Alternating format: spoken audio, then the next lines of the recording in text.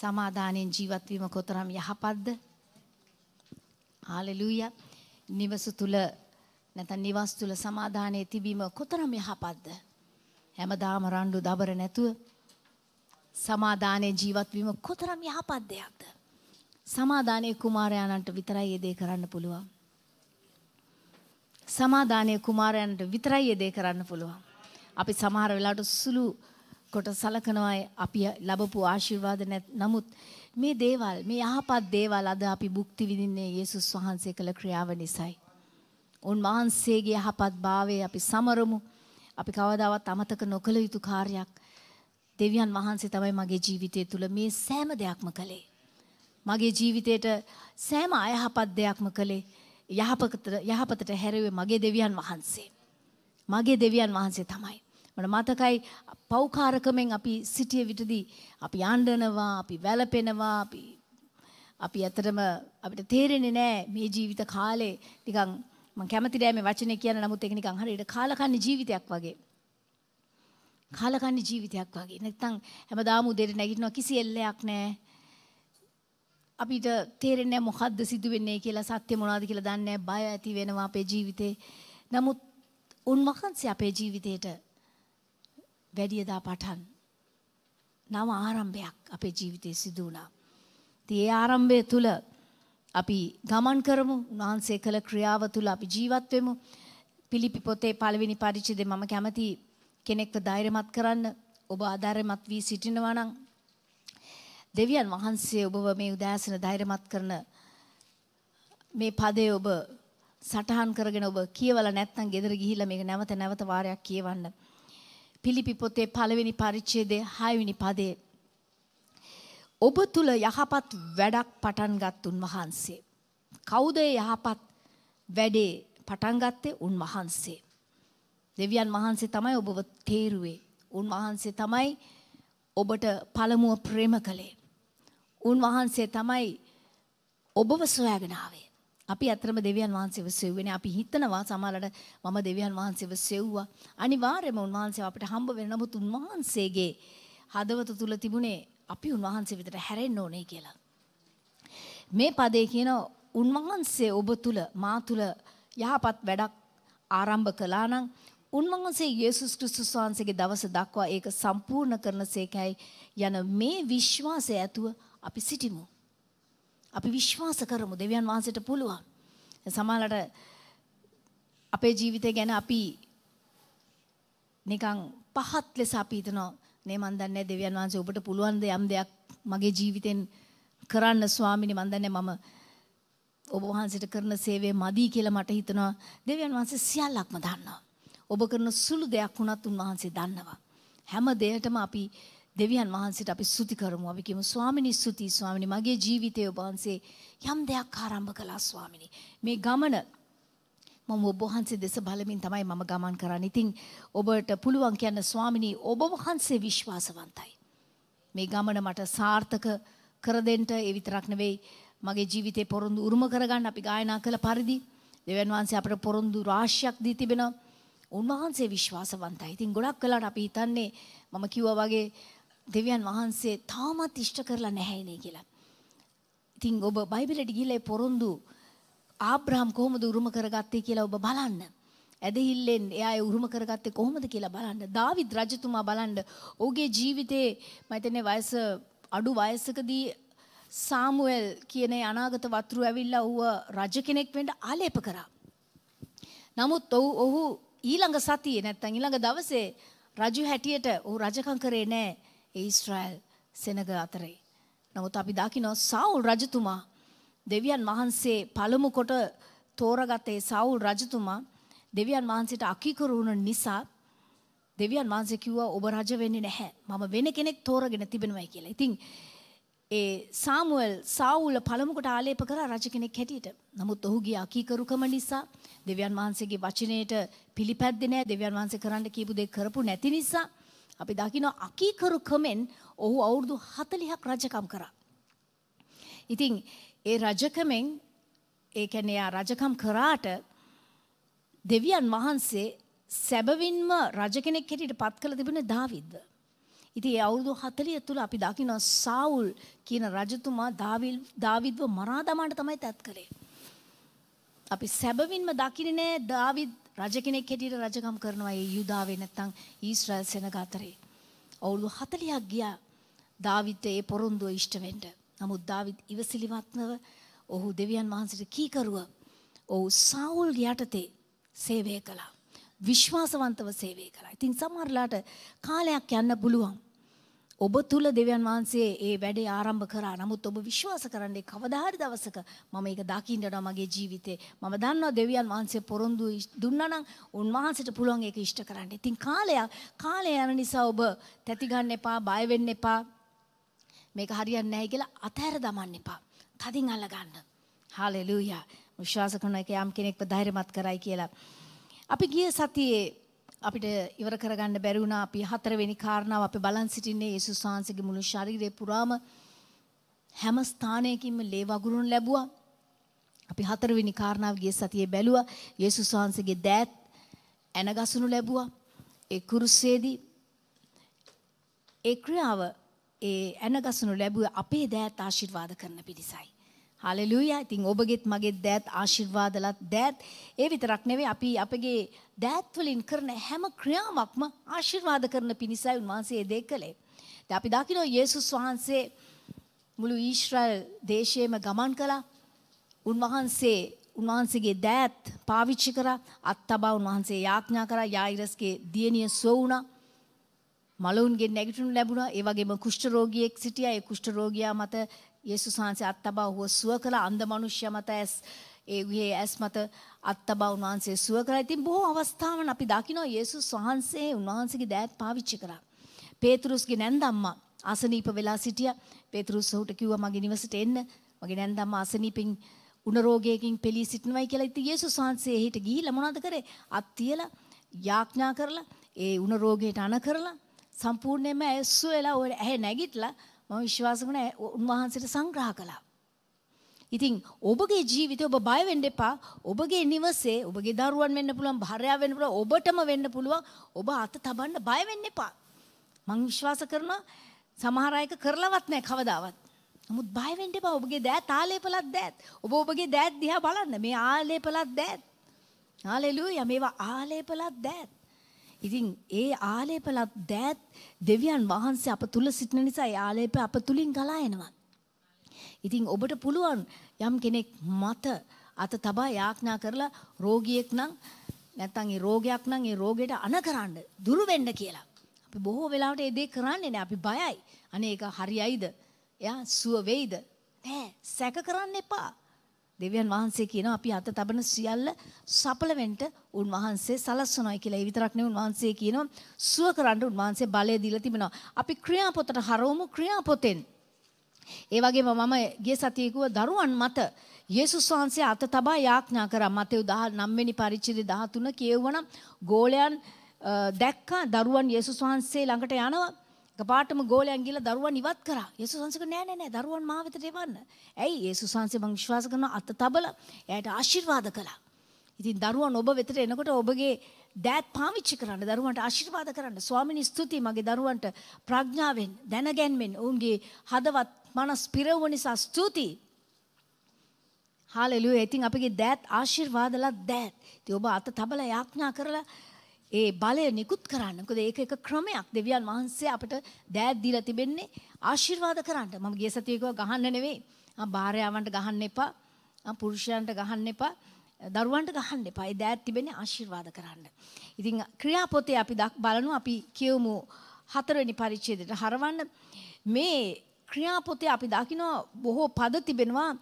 ගෝලයන් ඒ යේසුස් වහන්සේ කරපු ක්‍රියාව ක්‍රියාපොතේ සඳහන් වෙලා තිබෙනවා. කොහොමද ඒගොල්ලන්ගේ දෑත් පාවිච්චි කළේ? ඒ අය මනුෂ්‍යන්ට සුව කරන්න. අද වුණත් අපි ඒ අපේ දෑත් අපි හිස මත තබලා එකිනෙකා මත තබලා අපි විශ්වාස කරනවා.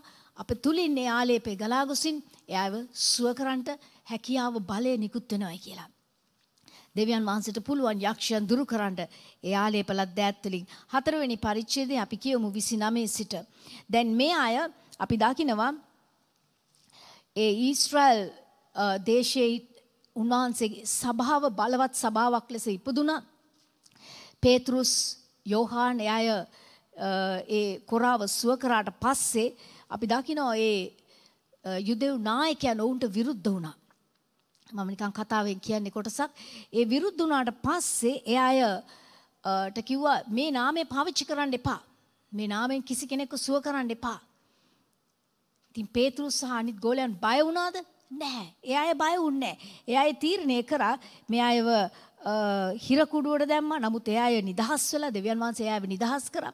ඒ අය තීරණයක් කරා අපි දෙවියන් වහන්සේ අපට දුන්නා වූ මේ අන අපි පිළිපදිනවා. උන්වහන්සේ අපට කිව්වේ ගිහිල්ලා යාඥා කරන්න අත්තියලා යාඥා කරන්න අපි මේ දේ කරනවා. කාටවත් බෑ මේ දේ නවත්තන්න කියලා. ඉතින් ඒ අය නිදහස් වුණාට පස්සේ ඒ අය කරපු යාඥාව තමයි අපි කියවන්න යන්නේ 29 සිට. දැනුදු ස්වාමිනී මේ අයගේ ආඥාවේ කොටසක්. ඔවුන්ගේ තර්ජන බලා සුව කිරීමට ඔබගේ අත දිගු කරන කල ඔබගේ වචනය නිර්භීතකමෙන් කතා කරන්නටත් ඔබගේ ශුද්ධ සේවකයා වූ යේසුස් වහන්සේගේ නාමය කරනකොටගෙන හාස්කම්ද පුදුමද කරන්නටත් ඔබගේ දාසයන්ට වරදුන මැනවැයි කීවෝය.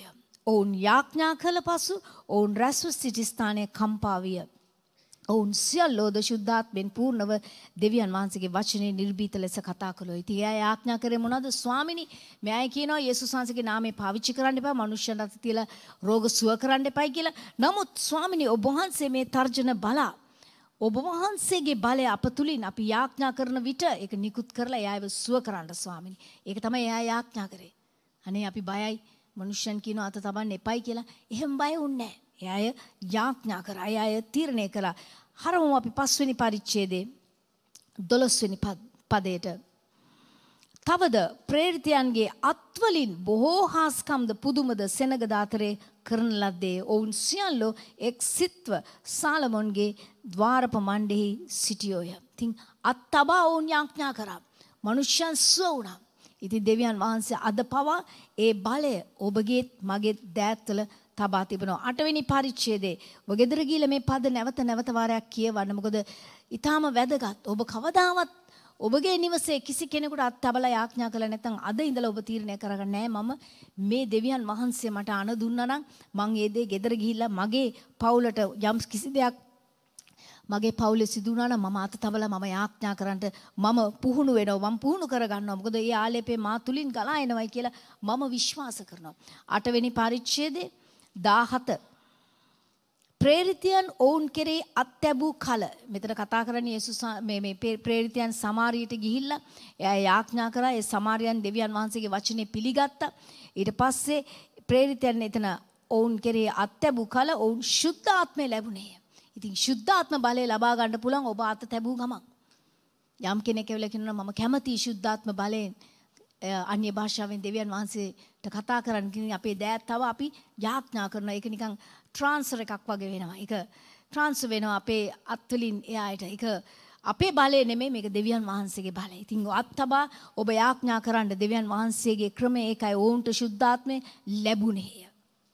සීමෝන් ප්‍රේරිතයන්ගේ අත්හැබීම කරනකොටගෙන ශුද්ධාත්මය ලැබෙන බව දැක ඔවුන් වෙතට මුදල් ගෙනවිත් යමකු පිට මම අත්තබමි. දැන් මෙතනින් අපි දකිනවා එක මිනිහෙක් එසිමොන් කියන මිනිහයා ඔහු ඇවිල්ලා කිව්වා මම මුදල් දෙන්නම්. මම සල්ලි දෙන්න මට මේ බලය ඕනේ. ඒ බලය මුදල් වලට ගන්න බෑ. ඔහු තැත් කරේ මුදල් දීලා ඒ බලය ලබා ගන්න. ඒතර මම අත්තබන හැම කෙනෙක්ම මේ ශුද්ධාත්ම බලය ලැබෙනවා. නෑ නෑ නෑ ඒක කවදාවත් එහෙම සිදු වෙන්නේ නෑ.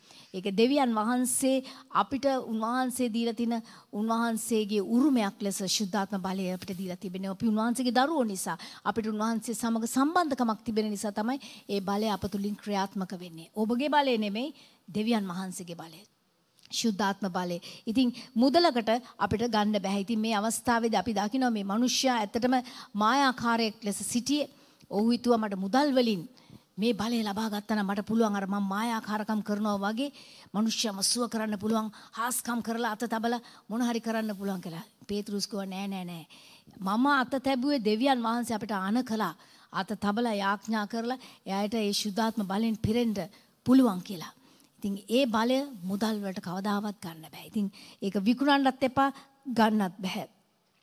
තව පදයක් හරවමු ක්‍රියාපොතේ 28 වෙනි පරිච්ඡේදයේ මෙතන අපි දකිනවා 27 වෙනි පරිච්ඡේදයේ පාවුල්තුමා ඔහු රෝමයට යනින් ගමන් ඔහු නැවක නැගලා රෝමයට යනින් ගමන් අපි දකින්න කුණාටුවක් ඇවිල්ලා ඒ නැව බිඳුනා. නැව බිඳිලා යේසුස් වහන්සේ පාවුල්ට සිහිනයකින් නැත්තම් දර්ශනයකින් ප්‍රකාශලා කිව්වා නැව බිඳුනත් නැව විනාශ වුණත් කිසි කෙනෙක්ගේ ජීවිතේ විනාශ වෙන්නේ නැහැ. ඔබ සියලු දෙනාම ගොඩට යන්න යනවයි කියලා එයා දැක්ක දූපතක්.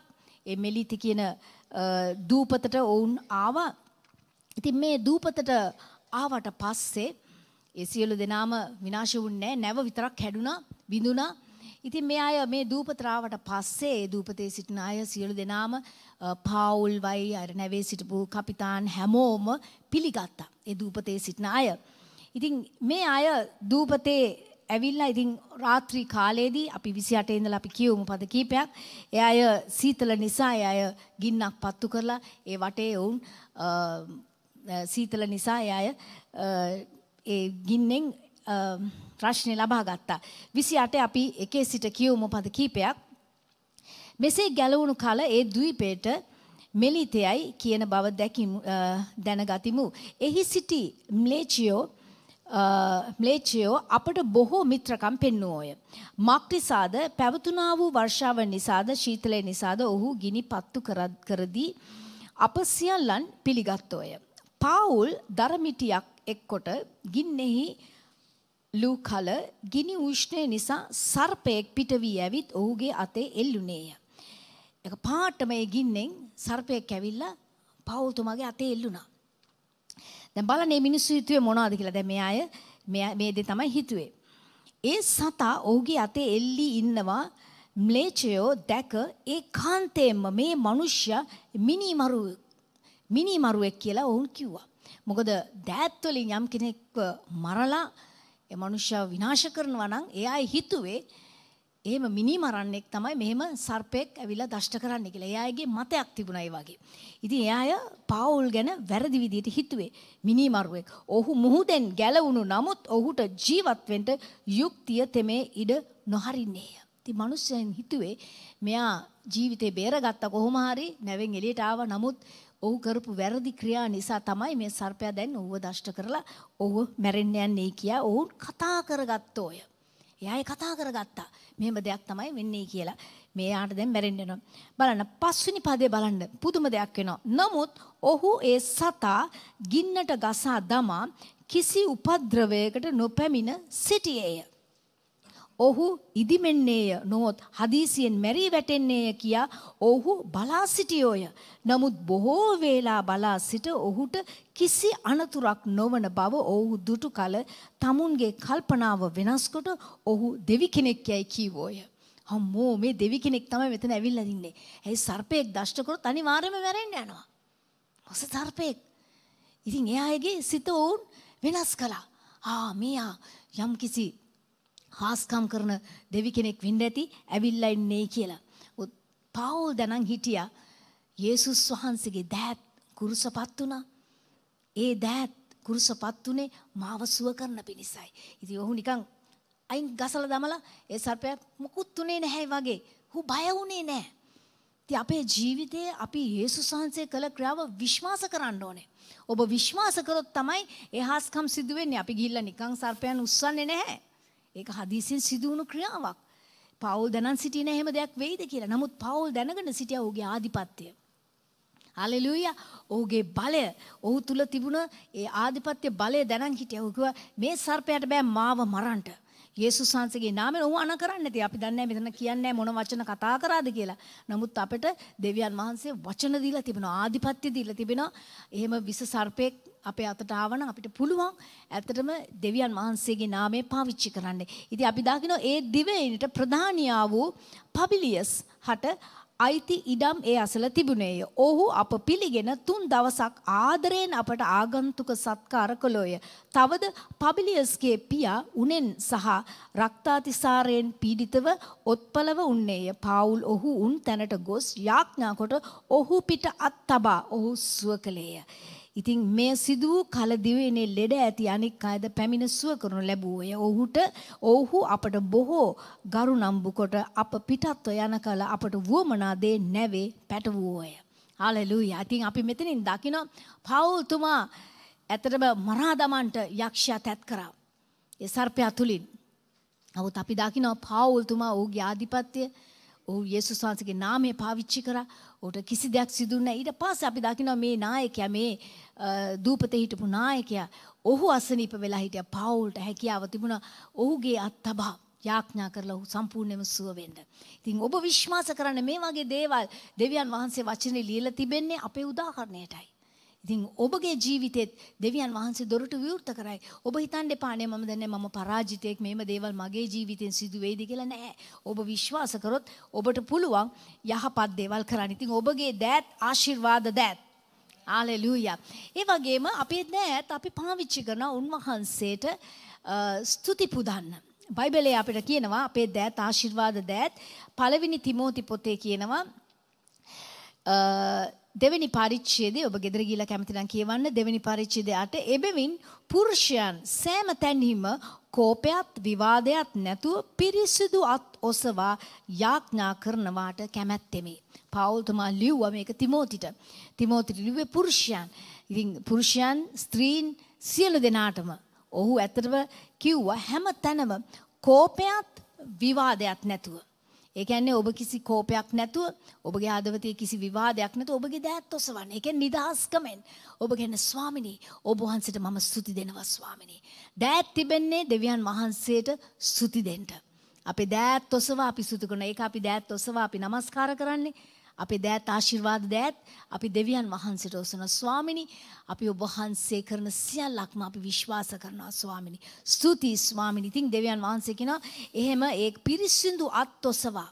සමහර වෙලාවට අපේ දෑත් අපිරිසුදු දේවල් වලට පාවිච්චි කරනවා. නමුත් දෙවියන් වහන්සේ කියනවා ඒවා පිරිසිදු දෑත්. ඔබගේ දෑත් දිහා බලගෙන මේවා පිරිසිදු දෑත්. අපිරිසිදු දෑත් නෙවෙයි පිරිසිදු දෑත්. ශුද්ධ දෑත්. හෙබ්‍රු 12 වෙනි පරිච්ඡේදයේ 12 කියනවා එබැවින් හෙලා තිබෙන අත්ද බෙලහීන දනිස්ත සවි කරගන්න. වාත් දෙක හෙලාගෙන ඔය නිකන් ගමන් කරනවා ඔබ කියන්නේ නෑ ස්වාමිනී ස්තුතියි ස්වාමිනී. ඇදහිල්ලෙන් මම ඔබ වහන්සේට ස්තුති දෙනවා ස්වාමිනී. ඇදහිල්ලෙන් මම විශ්වාස කරනවා. ඔබ වහන්සේ මේ ක්‍රියාව කළයි කියලා. ආබ්‍රහම් ඔහු දෑත් ඔසවා දෙවියන් වහන්සේට ස්තුති දුන්නා. අපි දකිනවා පරණ givisumේ ආබ්‍රහම් කියන දෙවියන් වහන්සේගේ අනාගත වතුරු අනාගත වතුරු ලෙස ක්‍රියා කරා. ඔහුට ඒ සොදොම් කියන රජතුමා ඇවිල්ලා කිව්වා මම ඔබට මුදල් දෙන්නම්. මම ඔබට හැම දෙයක්ම දෙන්නම්. ඔහු මොනවද කිව්වේ නෑ නෑ මට කිසි දෙයක් අවශ්‍ය නැහැ. මේ අය කාපු දෙයට විතරක් ඔබ ඒ දේ විතරක් ඒ අයට ලබා දෙන්න. මගේ දෑත් මම ඔස්වා තිබෙන්නේ මහෝත්තම දෙවියන් වහන්සේ කෙරෙහි. උන්වහන්සේ තමයි මට ආශිර්වාද කරන තැනන් වහන්සේ. ඉතින් ඔබගේ දෑත් ආශිර්වාදලත් දෑත්. ගීතාවලිය 28 දෙකේ කියනවා මා ඔබහට හඬ ගසන කලද ඔබගේ ශුද්ධ වාග්භූමිය දෙසට මාගේ අත් ඔසවන කලද මාගේ කන්නලව් ශබ්දය ඇසුව මැනව. ඉතින් අපි දෑත් ඔසවා උන්වහන්සේට ස්තුති දෙනවා. ගීතාවලිය 63 4. මෙසේ මම ජීවත්ව සිටින තෙක් ඔබට ප්‍රශංසා කරන්නෙමි. ඉතින් ප්‍රශංසා නමස්කාර කරන කාලේ අපි ඒකයි දෑත් ඔසවන්නේ. ඔබගේ නාමයෙන් මාගේ අත් ඔසවන්නෙමි. 134 දෙක ගීතාවලිය 134 දෙක ශුද්ධ ස්ථානයේ දෙසට අත් ඔසවා ස්වාමීන්ට ප්‍රශංසා කරව. උන්වහන්සේට ප්‍රශංසා කරව. විලාප ගීත තුනේ 41 ස්වර්ගයේ සිටින දෙවියන් වහන්සේ වෙතට අපගේ අත් සමග අපගේ සිත්ද ඔසවමු.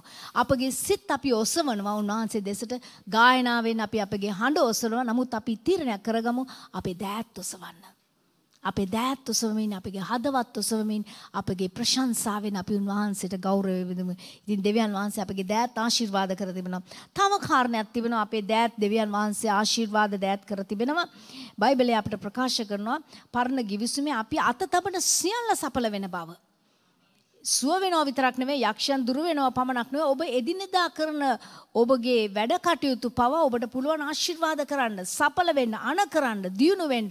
ඔබට පුළුවන්. මොකද ඔබගේ දෑත් දැන් ශාපලත් දෑත් නෙවෙයි ආශිර්වාදලත් දෑත්. හalleluya උත්පත්ති පොතේ අපි දකින හොඳ උදාහරණයක්. යෝසෆ්ගේ ජීවිතේ. යෝසෆ්ගේ ජීවිතේ පරණ givisumේ කෙනෙක් ලෙස සිටියත් යෝසෆ් බොහෝ දේවල් ඇත්තටම අලුත් ගිවිසුමේ දෙවියන් වහන්සේගේ පුත්‍රයෙක් ලෙස අධිපතිකම් කරමින් ඔහු ක්‍රියා කරා. යෝසෆ්ගේ ජීවිතය අපි දකිනවා ඔහුගේ සහෝදරන් ඔහුට විරුද්ධ වුණා. ඔහු දැකපු සිහින නිසා ඔහු සිහින ඇවිල්ලා ඔහුගේ සහෝදරට කියවපුවාම ඒ වගේම තාත්තා ඔහුට අලංකාර වස්ත්‍රයක් මසා දුන්නා. ඒ වස්ත්‍රය ඔහුට විතරයි ලැබුණේ. ආ පාට පාට වස්ත්‍රයක්. ඉතින් සහෝදරයන් ඇත්තටම ඊර්ෂ්‍යා වුණා. යෝසෆ්ට විතරයි තාත්තා ආදරය කරන්නේ. මොකද ඊසාක් අපි දකිනවා ඉතා වයස යාකෝබ් වයස්ගතව සිටින කාලේ තමයි යෝසප් ඉපදුනේ. ඉතින් ගොඩක් තරුණ නිසා ඔහු ඊටාම ඔහුට ප්‍රේම කරා අනිත් සහෝදරයන්ට වැඩියෙන්. නමුත් ඒ අය මේ යෝසෆ්ට විරුද්ධව ක්‍රියා කරා. ඉතින් අපි දකිනවා යෝසෆ්ගේ ජීවිතේ කොහොමද සහෝදරයන් ඔහුව විකුණුවේ? මිස්රේට මිස්රේට ඇවිල්ලා ඔහු අපි දකිනවා පෝතුරිපර්ගේ නිවසේ වැඩ කරා. අපි පද කීපයක් කියවමු 39 වෙනි පරිච්ඡේදයේ සිට ඔහු එක දෙයක් තීරණය කරා. මම යම් දෙයක් කරන්න යනවා නම් මගේ දෙවියන් වහන්සේ මා සමග ඉන්න නිසා මට පුළුවන් දියුණු වෙන්න, සාර්ථක වෙන්න. ඔහු ඔහු දැක්ක දර්ශනේ නැත්නම් ඒ දෙවියන් වහන්සේ ඔහුට දුන්න සිහින ඒවා තමාම ඉෂ්ට කරගන්න ගියේ නෑ. නමුත් ඔහු විශ්වාසවන්තව ක්‍රියා කරා. දිනපතා ඔහු තීරණය කරා මම විශ්වාසවන්තව තීරණය කරනවා. ඔහු ඇත්තටම දැක්කේ නෑ කවදා හරි මම රජුගේ දෙවෙනි ස්ථානය ගන්නවා කියලා මම හිතන්නේ ඔහු දැක්කයි කියලා ඒ දේ. දැන් අපි දන්නවා අපි බයිබලයේ කියවන නිසා ඔහු ඒ ස්ථානෙට ආවේ කොහොමද කියලා. නමුත් මම හිතන්නේ ඔහු ඒ දේ දැක්කයි කියලා. නමුත් ඔහු කරන ඒ රැකියාවේ ඔහු විශ්වාසවන්තව ක්‍රියා කරා. ඔහු විශ්වාසවන්තව දෙවියන් වහන්සේට කරන්නක් මෙන් කරා. අපි 39 වෙනි පරිච්ඡේදයේ ඔක්කොම පද කියවන්න යන්නේ. අපි 3 සහ 4 කියවමු. අපි මෙතන දකින්න පොතිපර්ගේ නිවසේ තමයි ඔහු සේවය කරේ. ඔහුගේ ස්වාමියා ස්වාමින් වහන්සේ ඔහු සමග සිටින බවත් ඔහු කළ සියල්ල ඔහුගේ අතේ දියුණුවෙන්ට සලස්වන බවත් දුටුවේය. දැන් බලන්න මේ පොතිපර් දැක්කා යෝසෆ්ගේ ජීවිතේ දෙවියන් වහන්සේ ක්‍රියා කරන බව. මම දන්නේ යෝසෆ් ඔහුට දේශනා කරාද කියලා. නමුත් යම් දෙයක් පොතිපර් දුටුවා. ඉතින් ඒ වගකීම ඒ නිවසේ තිබෙන හැම දෙයක්ම වගකීම යෝසෙෆ්ට පාර කරා. අපි දන්නවා සාමාන්‍යයෙන් අපේ ජීවිතෙත් කවුරු හරි කෙනෙක් කන්තරුවක වැඩ කරනවා නම් හොඳට විශ්වාසවන්ත වැඩ කරනවා අපි යාට වගකීම් වැඩියෙන් දෙනවා. ඇයි විශ්වාසවන්තව කරනවා. දුන්නොත් යම් දෙයක් එයා ඉෂ්ට කරනවා ඒ දේ. නැත්තම් සමහර අය ඉන්නවා කරන්නේ දහ දෙනෙක් හිටියත් සමහරලාට ඒ දේ කරන්නේ නමුත් එක්කෙනෙක් හොඳට විශ්වාසවන්තව කියන දේ කරනවා නම් අපි වගකීම් වැඩියෙන් දෙනවා ඒ මනුස්සයාට ඒ විතර නෙවෙයි පඩි වැඩි කරනවා. මොකද විශ්වාසවන්තව ක්‍රියා කරන නිසා. ඉතින් යෝසෆ්ගේ ජීවිතේ පෝතිපර ඒක දැක්කා. හැම දෙයක්ම ඔහුට බාර කරා. ඔහුගේ අතේ ඒව දියුණුවෙන්ට සලස්වන බව. ඔහු ඒක දැක්කා. මේ මනුෂ්‍යයා කරන හැම දෙයක්ම වෙනස් වෙනවා දියුණු වෙනවා සඵල වෙනවා සාර්ථක වෙනවා. හොඳට දැන් මගේ නිවසේ වැඩ කටයුතු සිද්ධ වෙනවා කියලා හැම දෙයක්ම ඔහුටම බාර කරා. ඉතින් මම දන්නේ යෝසෆ් යාඥා කරාද කියලා ස්වාමිනී මම අත තබන සියල්ලක් සඵල වෙන්න ඕනේ කියලා මම දන්නේ ඌ යාඥා කරාද කියලා. මොකද මේ ස්ථානේ අපි තාම දකින්නේ නැහැ ද්විතීය කතාව 28 තියෙන පස්සේ. නමුත් ඔහු තීරණය කරා. ඔහුගේ තාත්තා ඔහු කුඩා කාලේ එවැනි මනසට ඔහු එවැනි සිතුවිලි දමා තිබුණාද කියලා මම දන්නේ නමුත් ඔහු තීරණය කරා. ඉතින් හතරේ කියනවා හතරවෙනි පදේ යෝසෆ් ඔහුගෙන් කරුණාව නැත්තම් අනුග්‍රහය ලැබ ඔහුට මෙහෙ කළේය. ඔහු තමාගේ ගෙට ඔහු ප්‍රධානියා කොට තමා සන්තක සියල්ල ඔහු අතට බාර දුන්නේය. ඔහු විශ්වාසවන්තව කරපු නිසා හැමදේම වගකීම බාර දුන්න. ඔහු සන්තක සියල්ල ඔහු අතට බාර දුන්නා. දැනගත්ත පොතිවර් මේ මනුස්සයා හොරෙක් නෙමෙයි මේ මනුස්සයා හොරකම් කරන්නේ නැහැ, කඩාබිඳ දාන්නේ නැහැ, නාස්ති කරන්නේ නැහැ. මට පුළුවන් තව වැඩි වගකීමක් මේ මිනිස්යාට දෙන්න කියලා. ඔහු තමාගේ ගෙට සහ තමා සන්තක සියල්ලටත් ඔහු ප්‍රදානියා කළ තැන් පටන් ස්වාමින් වහන්සේ යෝසෆ් නිසා මිසරයාගේ ගෙට ආශිර්වාද කළසේක.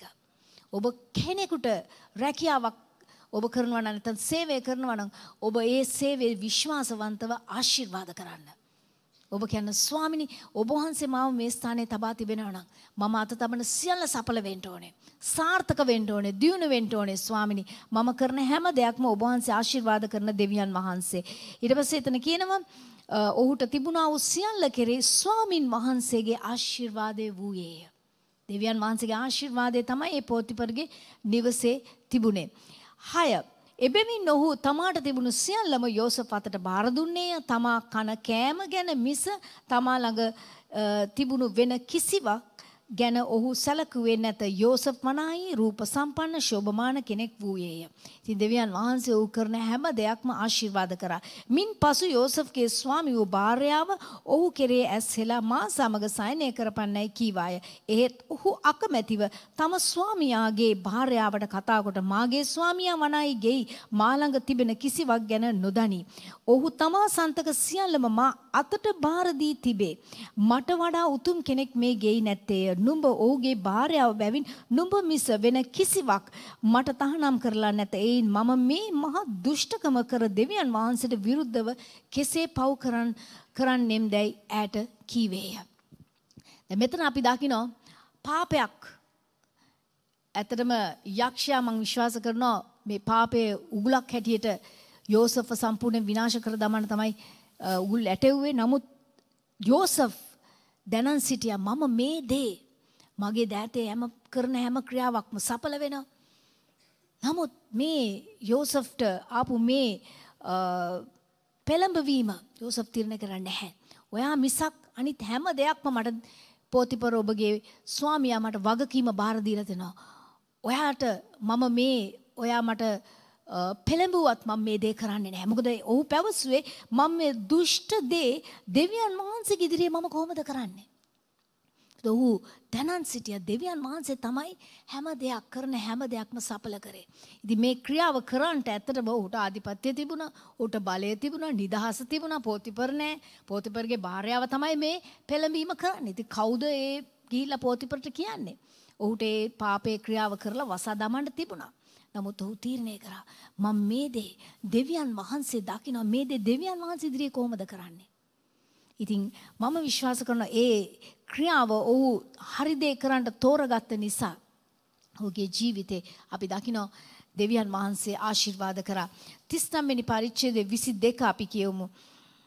හිර දැන් අපි දකිනවා ඒ පොත් අපි ඒ කතාව ඔබ කියනකොට පෝතිපර්ගේ භාර්යාව ඒ ඔහු අතින් අල්ලලා ඔහු පෙළඹෙව්වා. නමුත් ඔහු සලුව අතහැරලා ඔහු දාලා ඔහු කිව්වා මේ දේ මම කරන්නේ නැහැ කියලා ඔහු පිටත්ව ගියා කාමරෙන්. නමුත් පෝතිපර ආවට පස්සේ භාර්යාව පෝතිපරට කිව්වා බලන්න ඔබ මේ සේවකයා ඔබ පත් කරා නමුත් බලන්න ඔහු මට කරපු දේ ඒ අතවැරිය ඔහු මරන්නේ මේ දේ කරා කියලා. ඉතින් පෝතිපර් ඇත්තට මුලින් විශ්වාස කළේ නැහැ. නමුත් භාර්යාව කියපු නිසා ඔහුට විශ්වාස කරන්න සිද්ධ වුණා. ඊට පස්සේ අපි දකිනවා ඌ හිරගේට ඒ පෝතිපර් හිරගේට දැම් දමනු ලැබුවා. යෝසප්ව දැන් හිරගේට දැම්මට පස්සේ බලන්ඩ යෝසප්ගේ ජීවිතේ සිදුවන දේ. දැන් යෝසප් ඉන්නේ කොයිද? හිරේ. 21 සිට අපි කියවමු. නැත්නම් 22 සිට කියවමු. 21. එහෙත් ස්වාමින් වහන්සේ යෝසප් සමග සිට ඔහුට දයාව පෙන්වා හිරගේ නායකයාගේ ඇස් හමුවේ ඔහුට කරුණාව ගෙන දුන්සේක. හිරේ හිටියත් ඔහුට කරුණාව ලැබුණා. ඔහු ගිය ගිය හැම තැනම මං විශ්වාස කරනවා ඔහු අත තබන සියල්ලටම ඔහු ආශිර්වාද කරා. නිකන් හිතලා බලන්න හිරේ ඉන්නවනම් අනිත් හිරගේ ඉන්න අනිත් අය සමග නිකන් හිතලා බලන්න කොහොමද ඔහු ආශිර්වාද ලබන්නේද? අනේ අපරාධේ මම කරපු නැති වැරද්දකටනේ මම මෙතනට මේ ස්ථානෙට ආවේ කියලා ඔහු තමාටම ශාප කරගෙන ආ බැන වැදගෙන ඔහුට ඉන්න තිබුණා. නමුත් ඔහු තීරණය කරන්නේ නෑ නෑ නෑ. මම මේ ස්ථානෙට ආවේ මම කරපු වැරද්දක් නිසා නෙවෙයි. 22 හිරගේ නායකයාද හිරගේ සිටි සියලු හිරකාරයන් යෝසෆ් අතට බාර දුන්නේ. ඌට බාර දුන්නා වගකීම. ඔවුන් එයි කළා වූ සියල්ලද ඔහු යටතේ කරන ලද්දේ හිරගේ නායකයා ඔහු අත යටතේ තිබුණු කිසිම දෙයක් බැලුවේ නැත. මක් නිසාද ස්වාමින් වහන්සේ ඔහු සමග සිටිසේක. ඔහු කළ දේවල්ද ස්වාමින් වහන්සේ සඵල කළසේක. ඉතින් හැම දෙයක්ම උන්වහන්සේ සඵල කළා. යෝසප් කරපු හැම දෙයක්ම.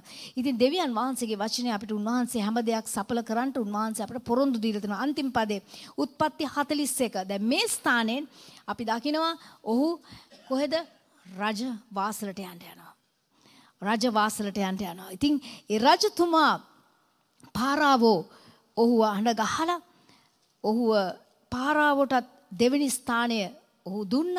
ඔහු ඒ හිරගෙත් විශ්වාසවන්තව සිටියා. ඊට පස්සේ අපි දකිනවා හීන ඔහු හීන රජතුමා දැක්ක හීන පරිවර්තනය කරා. අපි 41 42 කියවමු.